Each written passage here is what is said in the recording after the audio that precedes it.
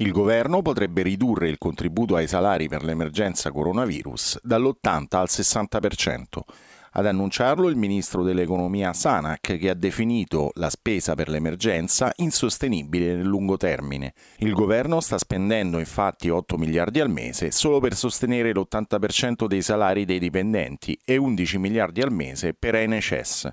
Sono 6,3 milioni di cittadini che stanno usufruendo del sussidio per i dipendenti, ma si arriva a 27 milioni di persone se si considerano tutti i benefit messi in campo dal governo.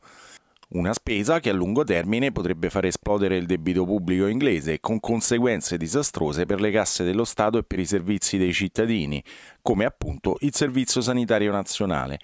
Per questo una riduzione al 60% sembra molto probabile in caso di estensione del periodo di lockdown.